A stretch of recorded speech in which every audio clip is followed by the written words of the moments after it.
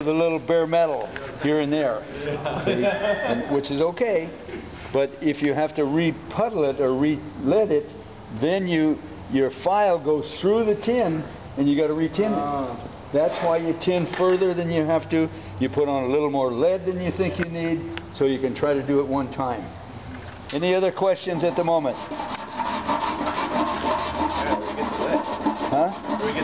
Where do you get the lead? Well, you can get it from Eastwood. It's only $40 a pound. and they, they yeah, they try to tell you that these little sticks are half pound and they're only quarter pound. You know, uh, whatever. do that. And they have new leadless